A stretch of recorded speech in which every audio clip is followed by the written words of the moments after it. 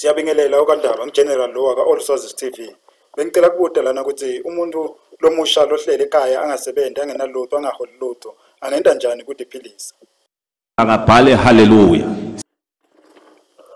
Lo gogo 1.5 after 3 months yena angenta njani okandaba.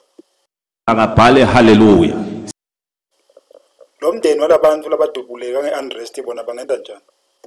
akabhale haleluya